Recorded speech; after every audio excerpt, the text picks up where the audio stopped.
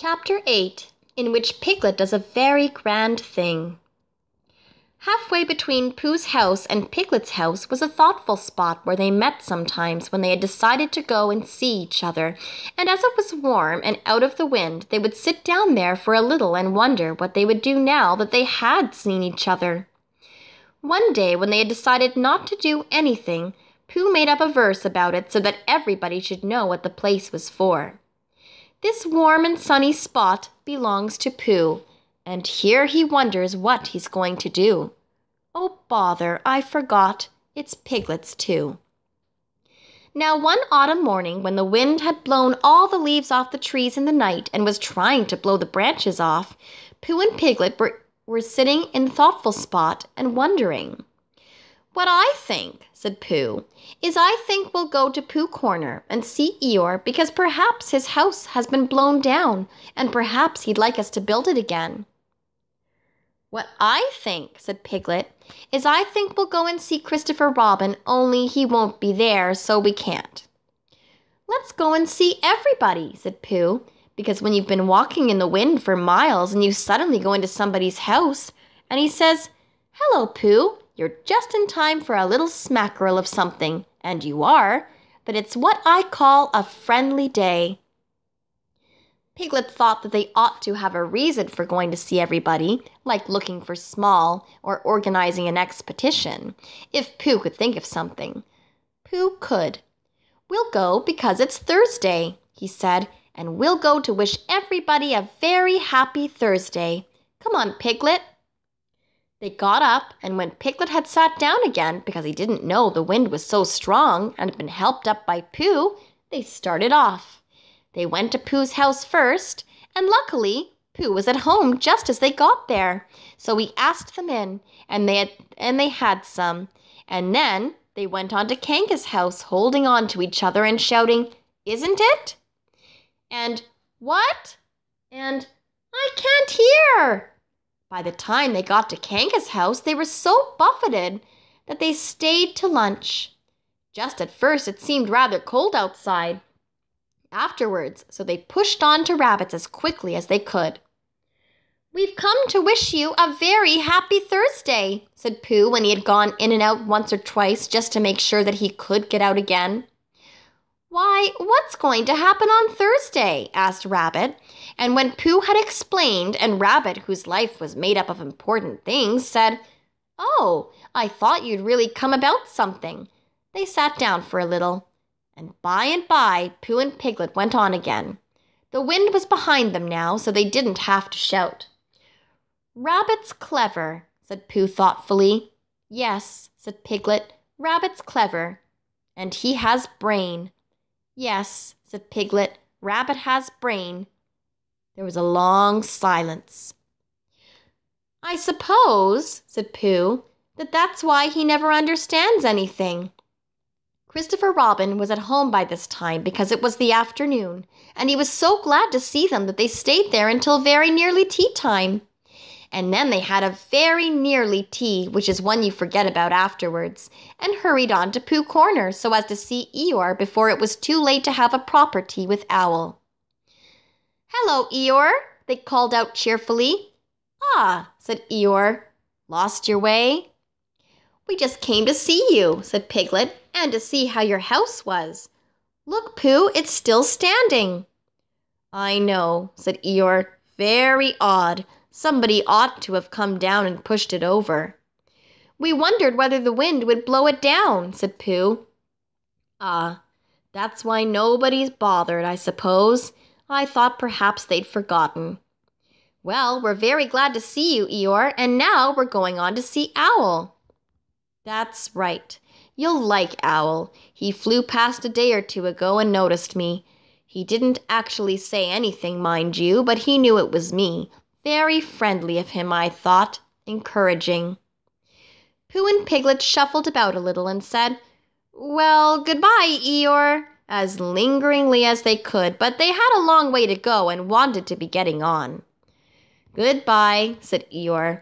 Mind you, don't get blown away, little Piglet. You'd be missed. People would say, Where's little Piglet been blown to? Really wanting to know. Well, goodbye, and thank you for happening to pass me. Goodbye, said Pooh and Piglet for the last time, and they pushed on to Owl's house. The wind was against them now, and Piglet's ears streamed behind him like banners as he fought his way along, and it seemed hours before he got them into the shelter of the hundred acre wood, and they stood up straight again to listen, a little nervously, to the roaring of the gale among the tree tops. Supposing a tree fell down, Pooh, when we were underneath it? Supposing it didn't, said Pooh after careful thought. Piglet was comforted by this, and in a little while they were knocking and ringing very cheerfully at Owl's door. Hello, Owl, said Pooh. I hope we're not too late for. I mean, how are you, Owl? Piglet and I just came to see how you were because it's Thursday. Sit down, Pooh, sit down, Piglet, said Owl kindly. Make yourselves comfortable. They thanked him and made themselves as comfortable as they could. Because you see, Owl, said Pooh, we've been hurrying so as to be in time for. so as to see you before we went away again. Owl nodded solemnly. Correct me if I am wrong, he said, but am I right in supposing that it is a very blusterous day outside? Very, said Piglet, who was quietly thawing his ears and wishing that he was safely back in his own house. I thought so, said Owl. It was on just such a blusterous day as this that my Uncle Robert, a portrait of whom you see upon the wall on your right, Piglet, while returning in the late forenoon from a. What's that? There was a loud cracking noise. Look out! cried Pooh. Mind the clock! Out of the way, Piglet! Piglet, I'm falling on you! Help! cried Piglet. Pooh's side of the room was slowly tilting upwards, and his chair began sliding down on Piglet's. The clock slithered gently along the, mas- the mantelpiece, collecting vases on the way, until they all crashed together onto what had once been the floor, but was now trying to see what it looked like as a wall. Uncle Robert, who was going to be the new hearth rug and was bringing the rest of his wall with him as carpet, met Piglet's chair just as Piglet was expecting to leave it, and for a little while it became very difficult to remember which was really the north. Then there was another loud crack. Owl's room collected itself feverishly, and there was silence. In a corner of the room, the tablecloth began to wriggle. Then it wrapped itself into a ball and rolled across the room. Then it jumped up and down once or twice and put out two ears. It rolled across the room again and unwound itself. Pooh, said Piglet nervously. Yes, said one of the chairs. Where are we? I'm not quite sure, said the chair. Are we. are we in Owl's house? I think so, because we were just going to have tea and we hadn't had it. Oh, said Piglet. Well, did Owl always have a letter box in his ceiling? Has he? Yes, look. I can't, said Pooh. I'm face downwards under something, and that, Piglet, is a very bad position for looking at ceilings. Well, he has, Pooh. Perhaps he's changed it, said Pooh, just for a change. There was a disturbance behind the, the table in the other corner of the room, and Owl was with them again. Ah, Piglet, said Owl, looking very much annoyed. Where's Pooh? I'm not quite sure, said Pooh. Owl turned at his voice and frowned at as much of Pooh as he could see. Pooh, said Owl severely, did you do that? No, said Pooh humbly, I don't think so. Then who did? I think it was the wind, said Piglet. I think your house has blown down. Oh, is that it? I thought it was Pooh. No, said Pooh. If it was the wind, said Owl, considering the matter, then it wasn't Pooh's fault. No blame can be attached to him. With these kind words, he flew up to look at his new ceiling. Piglet, called Pooh in a loud whisper. Piglet leant down to him. Yes, Pooh? What did he say was attached to me? He said he didn't blame you. Oh, he meant. Oh, I see. Owl, said Piglet, come down and help Pooh. Owl, who was admiring his letter box, flew down again. Together they pushed and pulled at the armchair, and in a little while Pooh came out from underneath and was able to look round him again. Well, said Owl, this is a nice state of things. What are we going to do, Pooh? Can you think of anything? asked Piglet. Well, I had just thought of something, said Pooh. It was just a little thing I thought of. And he began to sing. I lay on my chest, and I thought it best to pretend I was having an evening rest. I lay on my tum, and I tried to hum, but nothing particular seemed to come. My face was flat on the floor, and that is all very well for an acrobat. But it doesn't seem fair to a friendly bear to stiffen him out with a basket chair. And a sort of squaws which grows and grows is not too nice for his poor old nose, and a sort of squutch is much too much for his neck and his mouth and his ears and such. That was all, said Pooh. Owl coughed in an unadmiring sort of way and said that if Pooh was sure that was all, they could now give their minds to the problem of escape. Because, said Owl, we can't go out by what used to be the front door. Something's fallen on it. But how else can you go out?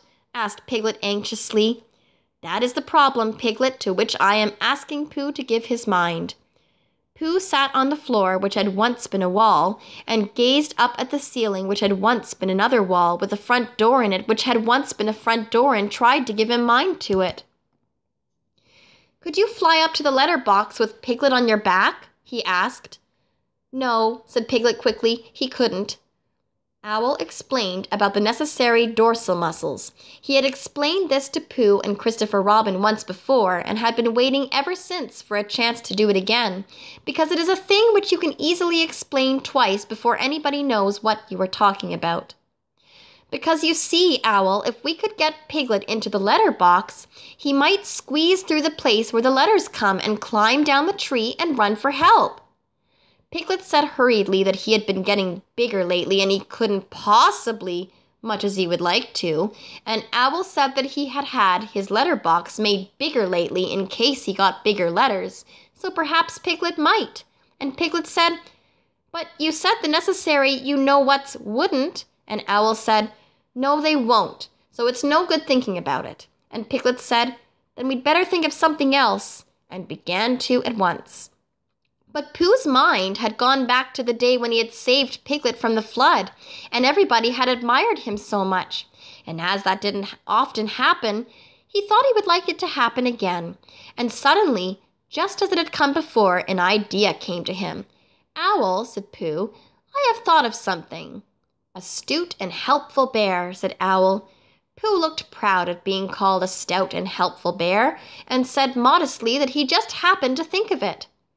You tied a piece of string to Piglet and you flew up to the letter box with the other end in your beak and you pushed it through the wire and brought it down to the floor and you and Pooh pulled hard at this end and Piglet went slowly up at the other end and there you were. And there Piglet is, said Owl, if the string doesn't break. Supposing it does? asked Piglet, wanting to know. Then we try another piece of string.